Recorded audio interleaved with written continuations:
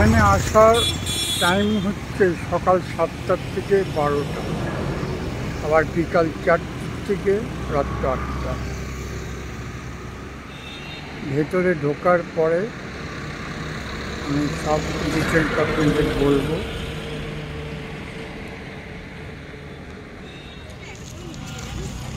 ভেতরে এখন প্রবেশ করলাম।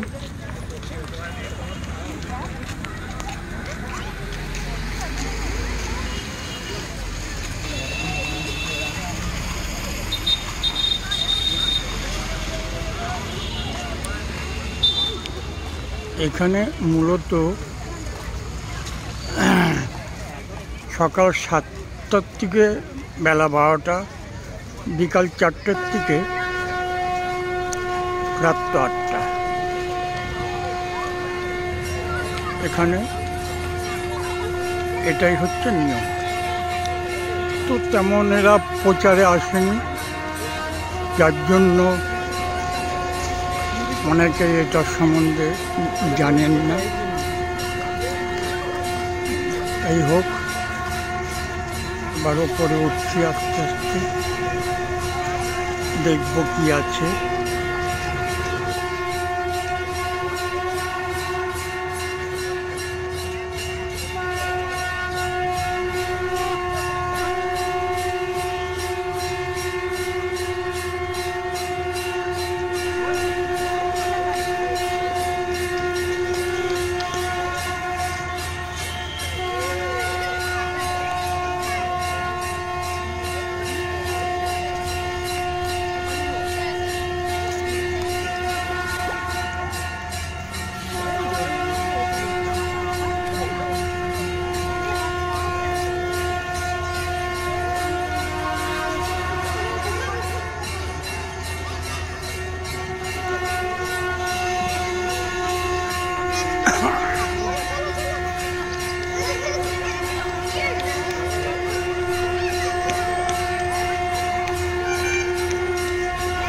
भाई। दीक्षेकन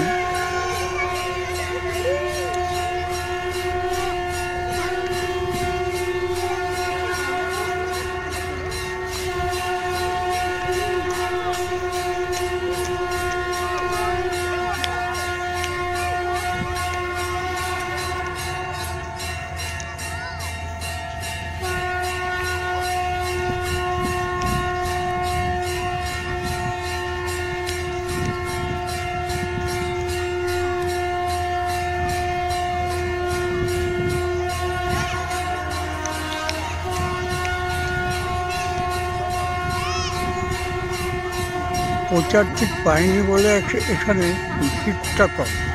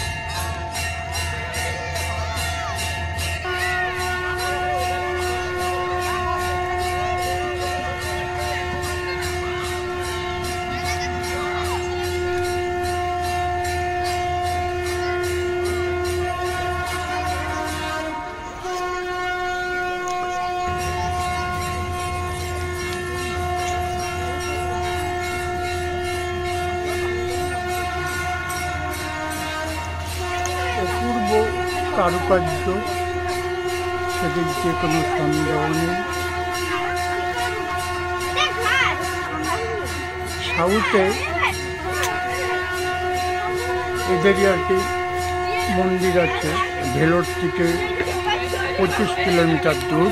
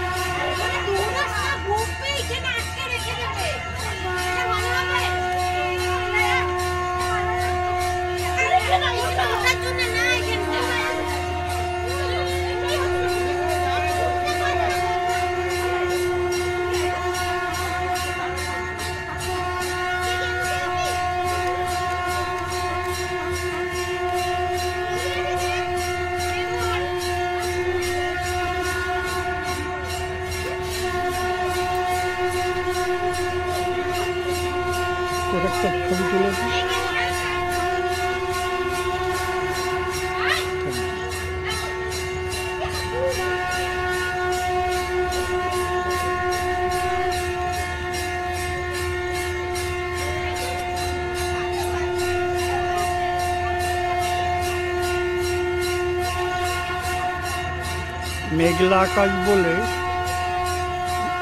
রোদের চাপটা নেই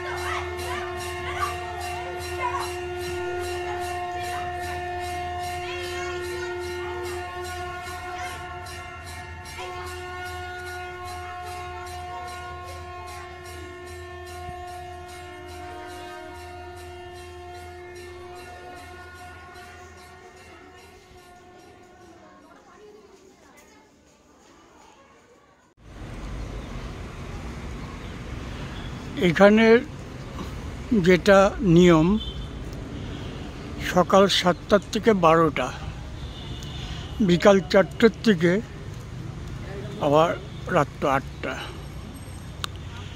বাইরে ফটো তোলা যাবে মন্দিরের ভেতরে এবং ওখানে আপনি ফটো বা ভিডিও কিছুই করতে পারবেন।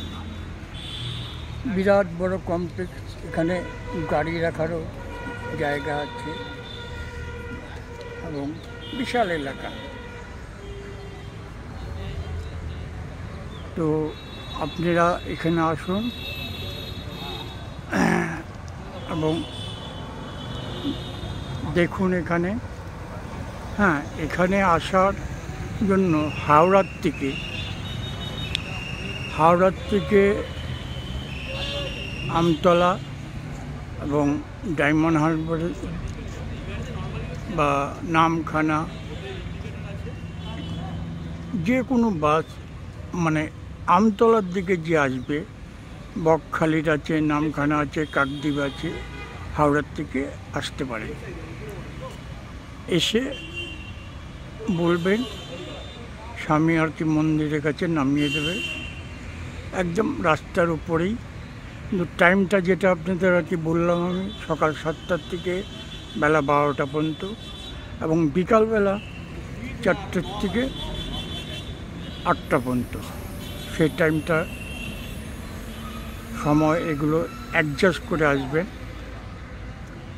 আর শিয়ালদার থেকে যারা আসবেন ওটা দেখবেন সল লেক থেকে বাসটা ছাড়ছে সেইটা আপনি আমতলা পর্যন্ত।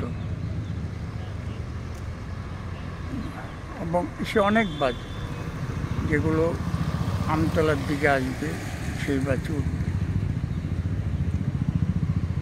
আর এখানে ক্যান্টিন আছে, এখানে আহার করতে পারবেন, নিরামিষ। বাইরের এখানে কোনো খাবার সে অ্যালাউ না। এগুলো জেনে শুনে এখানে আসবেন। যাচ্ছেন। তাহলে আপনাদের আমি জানালাম। সেইভাবে এখানে আসুন। খুব ভালো লাগবে ফ্যামিলি নিয়ে আসুন। এখানে ক্যান্টিন আছে, কোনো অসুবিধা হবে না এবং ভালো লাগবে। তো সকালের দিকে আসতে পারেন, বিকালে সেটা আপনাদের সময়টা বুঝে আসবেন। তো খারাপ লাগবে না। এটা ঠিক প্রচারটা পায়নি বলে আমার যা ধারণা, ভিড়টা কম। এত সুন্দর একটা মন্দির করেছে এখানে। কিন্তু প্রচারের জন্য আমার যা মনে হয় লোক আসছে না। জানি না কী কারণ। খুব সুন্দর আর কি ব্যবস্থা হ্যাঁ। নাইটে এখানে থাকার কোনো জায়গা নেই। সেইভাবে আপনারা বুঝে আসবেন। আর ক্যাপ্টেন আঙ্কেলের চ্যানেলে যারা দেখেন বা না দেখেন, সবাইকে আর কি ধন্যবাদ। কিন্তু একটা অনুরোধ থাকবে, অন্তত একটা সারপ্রাইজ আপনারা করবেন। না। এটা আপনাদের কাছে আমার বিশেষ অনুরোধ। শেষ করছি এখানে।